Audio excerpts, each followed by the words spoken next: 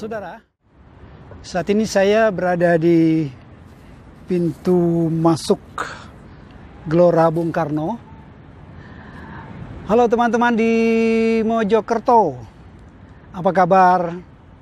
Saat ini saya menghabiskan sisa waktu atau pada hari libur ini, Sabtu dan Minggu, saya senantiasa manfaatkan untuk berada di salah satu pintu masuk Gelora Bung Karno, pintu masuk yang bersebelahan dengan Jalan Jenderal Sudirman.